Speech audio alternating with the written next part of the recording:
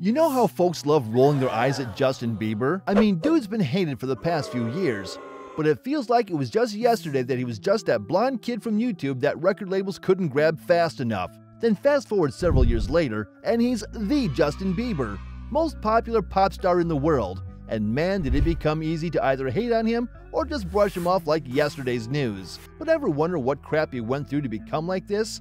You know, it wasn't always glitz and glam for Justin.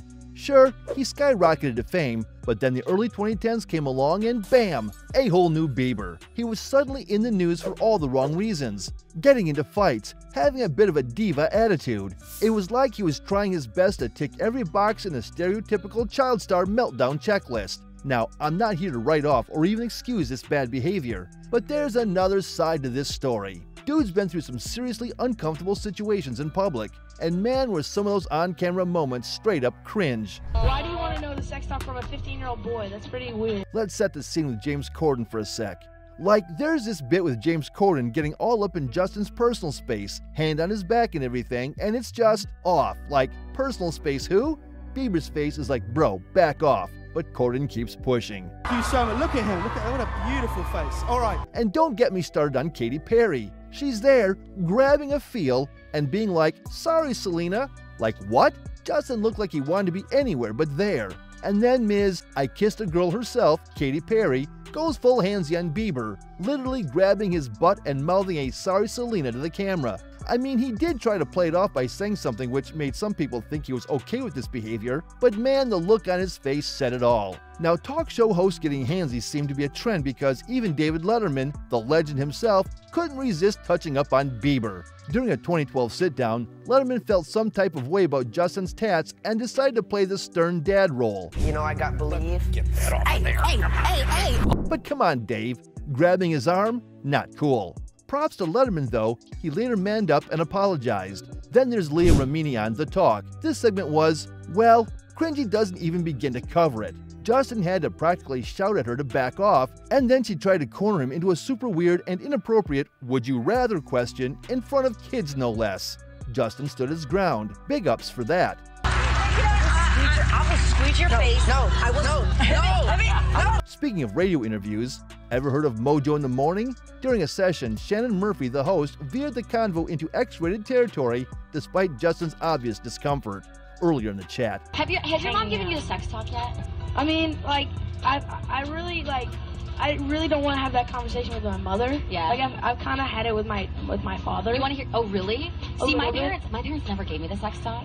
Okay. So why don't you give me the sex talk? I, I Teach really, me. I feel uncomfortable right now. Oh. Why do you want to know the sex talk from a 15 year old boy? That's pretty weird. Justin's teen hormones were on display, flirting with Shannon. But then she started describing his actions live on air. It got messy real quick. I mean, he was a kid and she was an adult. Lines got blurred and it was all sorts of messy. And don't even get me started on L.A. Reid. He, the bigwig who signed Justin, dropped some weird comments about Justin's looks, describing him as beautiful like a woman and going on and on about his face and hair. Uh, okay? I mean, Bieber was a cute kid, but some of those comments, major side eye. But the grand prize for cringe inducing behavior goes to Jenny McCarthy.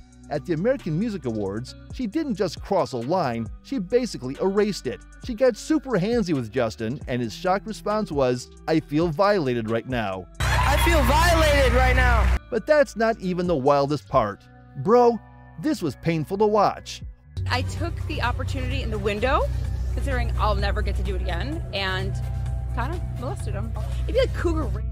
Homegirl straight up admits to her behavior on Twitter, like it was some sort of badge of honor. Honestly, it's chilling to think what might have gone down when the cameras weren't rolling. Look, the point here isn't to excuse any bad behavior on Bieber's part, but with all the wild stuff that was going down in plain sight, you gotta wonder how much more he had to deal with behind closed doors. Everyone's got a story, and sometimes it's darker than you think. So here's the thing many child stars go down the rabbit hole, and our boy Justin was no exception. Teenagers experiment, it's a thing. We've all done some wacky stuff as teens, but add in some intense stress and a media microscope, and it's a recipe for disaster. Justin wasn't just experimenting, he was trying to escape, and oh boy did he serve up some drama. 2013? Wild year for him. TMZ posted a pic of Justin with what looked like a blunt. Talk about a plot twist from the baby days. No charges or anything, but the damage was done. That wholesome choir boy image? Crumbling. Fast forward to his 19th birthday. Homeboy was in England, ready to party it up. But here's where the plot thickens. All little tweet tease from Justin about a big night, and boom, he's splashing 8,000 pounds for a bash at the Cirque du Soir Club in Soho. Apparently, some of his guests were underage, and so naturally you wouldn't expect them getting entry into a club, so it wasn't really a surprise when they got the boot from the club. But Justin, being Justin, was having none of it. He ranted on Insta about the club's weak ass excuse. Ha!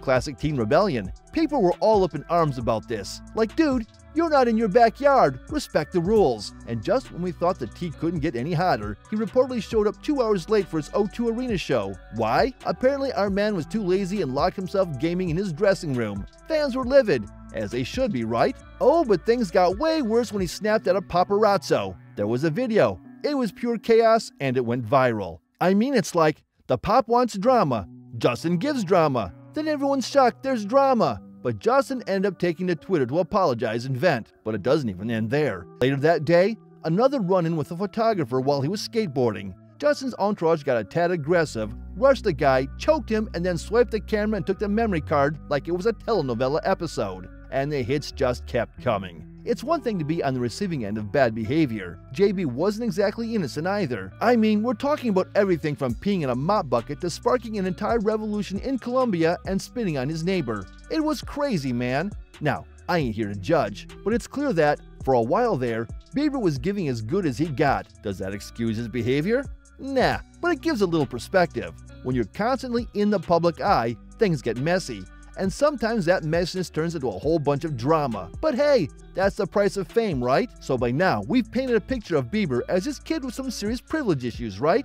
And then bam, 2014 hits, and a video surfaces where a younger Biebs is caught making some pretty tasteless racist jokes, like kid used the N-word multiple times. And if you thought, oh, young and dumb, hold up, Another video pops up where he takes his song, One Less Lonely Girl, and switches out the lyrics to some truly ugly racist words. I mean, come on. He later came forward with an apology that boiled down to, yeah, I messed up, big time. But for many, that was the final straw. Just when you thought things couldn't get any wilder, Bieber decided to double down on his bad boy image with that infamous DUI in Miami.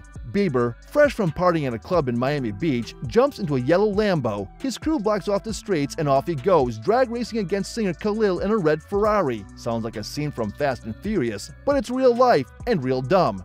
Cops pull him over, and surprise, surprise, he's intoxicated. They toss him in jail, and that smiling mugshot of his goes viral. Later, tests reveal he's got a cocktail of THC and Xanax in his system. Some people were fed up, so much so that over a quarter of a million people signed a petition to kick him out of the US. The Obama administration, however, gave it the old thanks but no thanks treatment. But behind the scenes, it was darker than we thought. Rumors flew about Justin's increasing drug use, with whispers that he's been spotted buying in some of LA's riskiest neighborhoods. It's tough seeing someone, especially so young, spiraling like that. It's easy to shrug it off as just another rich kid problem, but there's a person behind those headlines. He once admitted that his substance abuse started off casual but quickly spiraled as the pressures of fame bore down on him. The dude was hurting. Still, as they say, the show must go on, and Bieber did just that, collaborating with Skrillex and giving us bops like Where Are You Now and What Do You Mean, and the aptly titled Sorry. He dropped the Purpose album and it was a smash hit, but you could see the strain in his eyes. His later music, like Yummy, let's just say it wasn't everybody's jam. In the years that followed, he tried to rebuild but his public image, once that of the squeaky clean kid with the iconic hair flip, was forever changed. Some would say tarnished. Interviews, like his heart to heart with Zane Lowe, showed a vulnerable side. He teared up talking about Billie Eilish, likely seeing a bit of his younger self in her. The thought of Billie going through all the sexual harassment he went through makes me want to cry. Today, he's older, hopefully wiser, and focused on his family. But that bratty pop star rap, it still haunts him. No matter what he does, he can't fully shake it. The crazy thing is, at the start of it all, he was just a kid with a dream. The world built him up, put him on a pedestal, and then watched as it all crumbled. It makes you wonder is all the fame and fortune really worth it?